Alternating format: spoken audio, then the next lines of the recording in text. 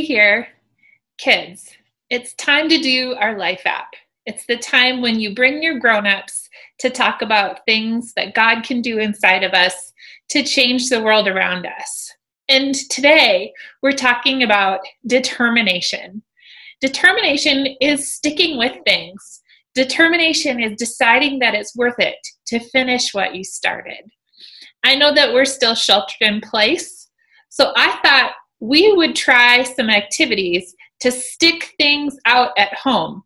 I'm calling this sticking at home with sticky stuff. Say that three times fast. Sticking at home with sticky stuff. Sticking at home with sticky stuff. Sticking at home with sticky stuff. Yes. All right. One thing I've seen a lot of people do that's sticky is this cool sidewalk art. The truth is, I'm not that crafty. This is a little daunting for me. But you know, I love a good challenge, and today is all about determination. So, step one is to place the tape on the sidewalk.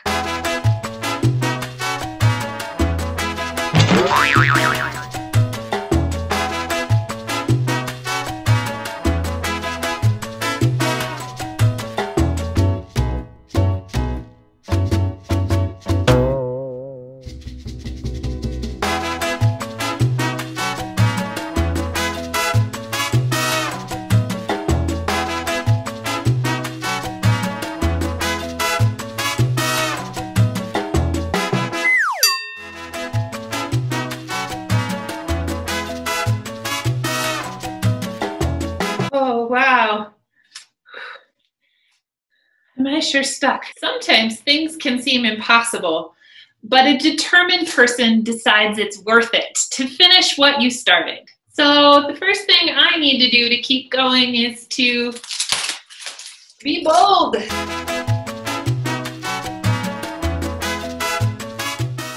I finally got out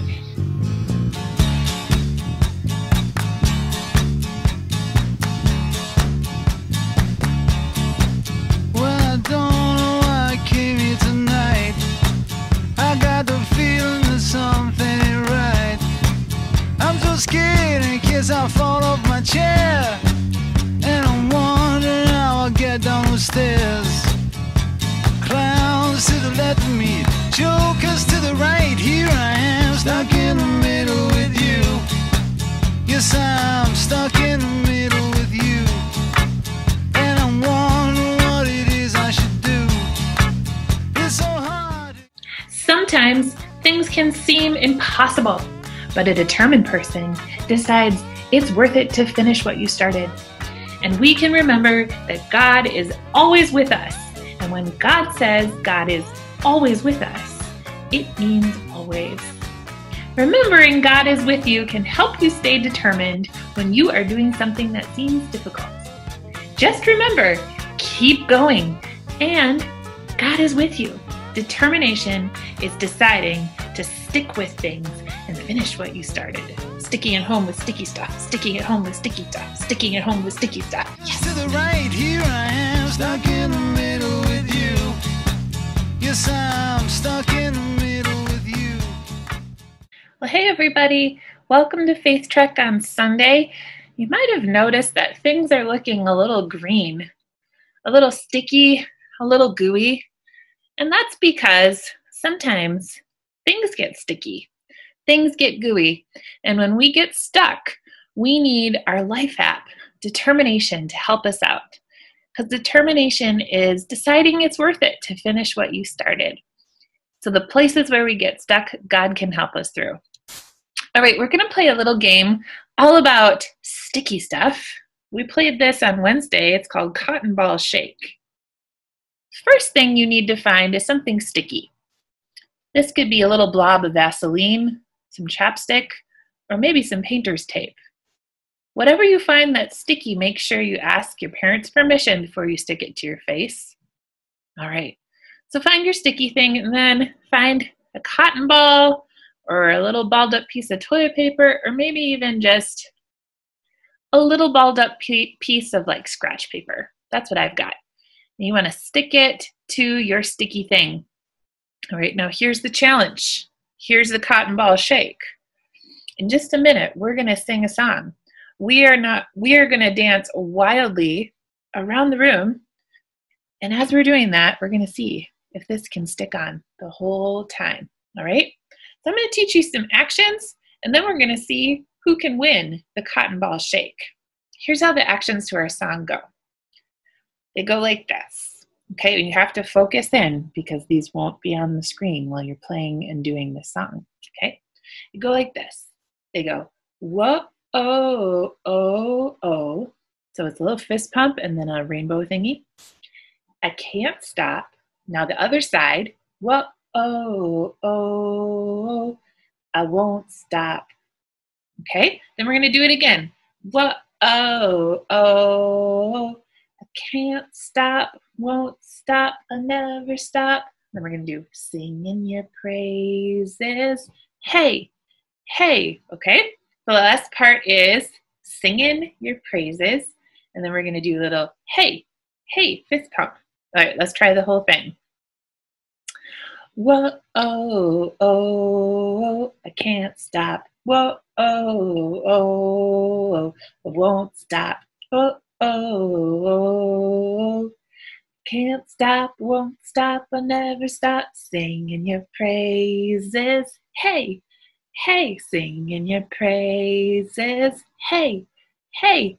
Okay, let's try out the song. Let's see who wins the cotton ball shake.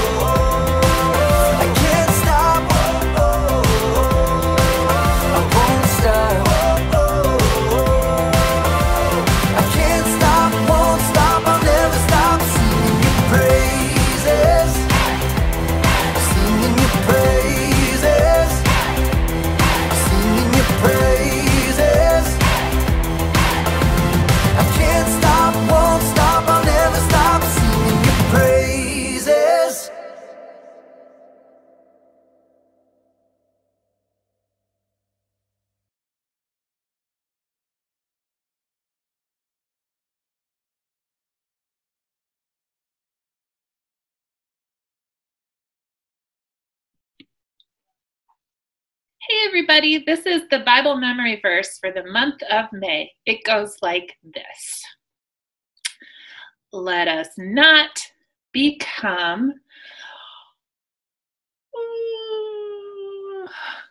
tired of doing good. At the right time, bing, we will reap a harvest if we don't give up. That's from Galatians 6 9.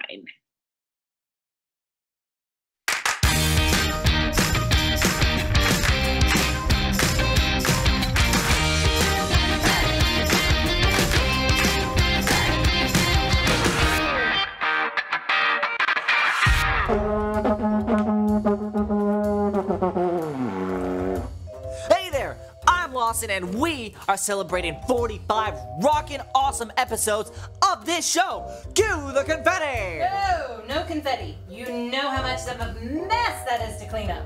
But, Mom, we've recorded 45 whole shows. At 44. You've barely even started this one. Uh, right, guess we to get started, to get finished, to celebrate. So today, we're celebrating my friend Tamir's sister, Kira, and how she just finished something big. Kira just found out about this amazing summer soccer camp, so she begs her parents to let her go. But it's kind of expensive. Like super expensive. Like super duper expensive. Dad says the only way that Kira can go is if you pay for half of it yourself. And Kira says, for it with what? Because it's not like she's made of money. And mom says, I know a way you can earn the money. Their older neighbor, Mrs. Bonafonte, can't get around so well anymore. And she needs some help spring cleaning her kitchen. Kira's like, go! Because how hard can it be to spiff up a few things for Mrs. Bonafonte, right?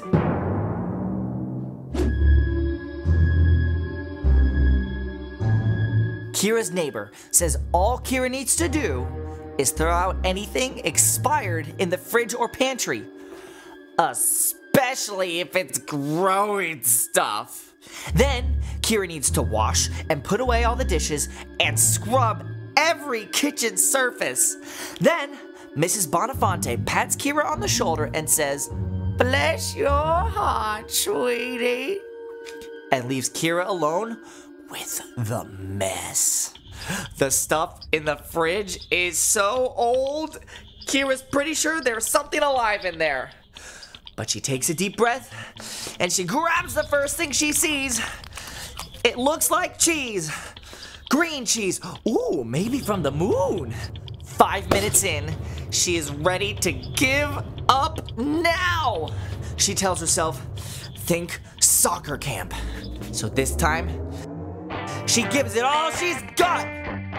And in 3 hours and 57 minutes, she's finally done. Mrs. Bonafonte shouts, Go! And then she pays Kira for all her hard work. And Kira shouts, Go! Cause it's exactly the right amount for her to go to camp. Then mom and dad show up and they all pull out their vuvuzelas to celebrate. Okay, okay, okay, okay, hmm. okay. We get the point. So, kids, remember, never do this at home. But do remember that determination is deciding it's worth it to finish what you started. Like episode 45. Ooh, can we celebrate with confetti now? Please, please, please, please, please, please, please. Oh, Lawson. What? It's better than more of a better than more of a this, right? Fine. But you gotta clean it up. Okay, okay. Woohoo! Cue the confetti!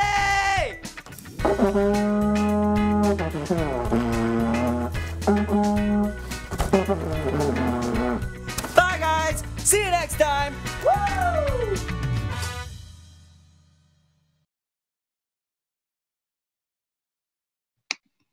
It's time to do our Bible book wrap, and we have started the Old Testament. So let's review what we learned last week. Last week we learned Genesis, Exodus, Leviticus, Numbers, Deuteronomy, Joshua, Judges, Ruth. This week, here's our new part.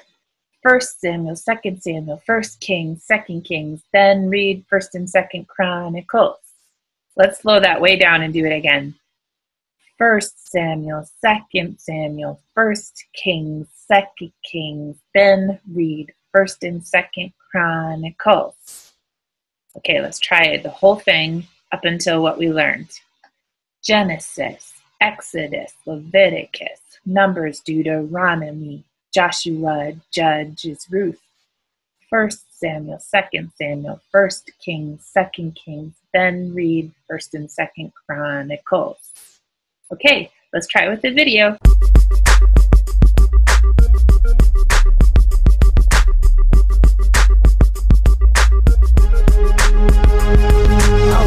Best books of the best book. Cause all of God's songs have the best hooks. And all of God's acts have the best looks. And all of God's love's in the best book. Yo, it's the ah, B, I, B, L, E. Read the B, I, B, ah, L, E. Know the ah, B, I, B, L, E. God's word is the B, I, B, L, E. Top read Genesis, Exodus, Leviticus, Numbers, Deuteronomy, Joshua, Judges, Ruth. First Samuel, Second Samuel, First Kings, Second Kings, and read and Second Chronicles. The Bible. It's 66 books of history, stories, letters, and poetry that fit together to form God's one big story. The epic adventure of how He created us and loves us so much that He made a way to rescue us. As we travel through the Bible, from Genesis to Revelation, we discover people who met God and found their lives changed forever. And now for an amazing story inspired by the books of Matthew, Luke, and Acts. When Jesus returned to life, roller coasters hadn't been invented yet. But as far as his friends were concerned, they might as well have been living on one wild coaster ride. Peter and Matthew might have gone over the whole story one more time as they walked the dusty roads from Galilee back towards Jerusalem. Remember how it started?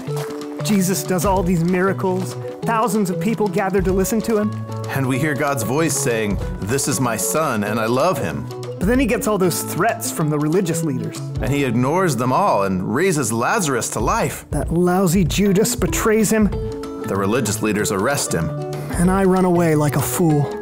and Jesus is killed. But he comes back to life. And now we get to hang out with him. I think he's got big plans. Did you hear how he told me at the lake to take care of his followers? And what he said to us all on the mountain in Galilee. About making new disciples? Yeah. So you must go and make disciples of all nations, baptize them in the name of the Father, and of the Son, and of the Holy Spirit. Teach them to obey everything I have commanded you, and you can be sure that I am always with you to the very end. Big job. How do you remember all this stuff? I record it. You should write a book sometime. I'm still not so sure about the Holy Spirit part. Same. But Jesus is here with us now. We can do anything while he stays with us. Forever! Ahead, Peter and Matthew and the other disciples could see Jerusalem in the distance, the temple rising above the other buildings. He said to meet him back in Jerusalem. For the Feast of Pentecost, probably. That would be the perfect time for him to do something big. Uh, If he wants followers in all nations, that must mean we take over Israel first, right? I don't know about the takeover part. As Jesus' friends returned to Jerusalem, Jesus led them to a hill outside the city near Bethany. Nice view of the city from here. I bet he's finally gonna give us all the big plan now. He already did. Make disciples of all nations. Yeah, but how? Is he gonna gather 50,000 people at Pentecost? Or maybe he'll take us all with him on an epic road trip? He probably wouldn't have brought us all up here if he didn't have something big to say. Sure enough, as they ate a meal on the side of the hill, Jesus told them, Do not leave Jerusalem. Wait for the gift my Father promised. In a few days, you will be baptized with the Holy Spirit. There's the Holy Spirit thing again. Peter couldn't take it anymore. He had to ask, Lord, are you gonna give the kingdom back to Israel now? Everyone stopped talking, then looked to Peter, then to Jesus, who shook his head. You should not be concerned about times or dates. The Father has set them by His own authority. But you will receive power when the Holy Spirit comes on you. Then you will tell people about me in Jerusalem, and in all Judea and Samaria, And you will even tell other people about me from one end of the earth to the other. The disciples exchanged glances. Okay, you did say the all nations part already, but wh- where will you be? And please, can you explain how the Holy Spirit's going to help us? As Jesus smiled at his friends, he lifted his hands and spoke a blessing over them. He's not answering the question. As Jesus was speaking, something incredible happened. Slowly, he began to rise into the air. He's standing in the air. How is he standing in the air? Jesus' friends stared, mouths open. Soon, a cloud hid him from view, but they continued to gape. Men of Galilee. The disciples blinked and finally looked down to discover two tall men dressed in white standing right beside them. Why do you stand here looking at the sky? Jesus has been taken away from you into heaven, but he will come back in the same way you saw him go. Come back? Come back when? But the men in white were gone. He did say, don't be concerned about times or dates. But he just gave us the biggest job ever. Tell everyone in the whole world about him? There's gotta be a plan. The Holy Spirit. I think the Holy Spirit is the plan. But we don't know what the Holy Spirit is. Jesus said to wait in Jerusalem. So, wait. That's the plan? That's the plan for now. Jesus gave his followers what seemed to be an impossible job share the story of Jesus and his love for every nation across the entire world. But soon, he gave them everything they needed to not only start the job, but keep going.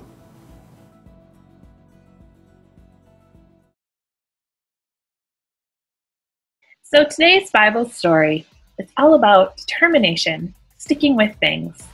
And here's the cool thing about today's story Jesus gave his friends, the disciples, a big, big job. In fact, it might have created a lot of stress and anxiety, except for the one thing that Jesus promised his disciples, his friends.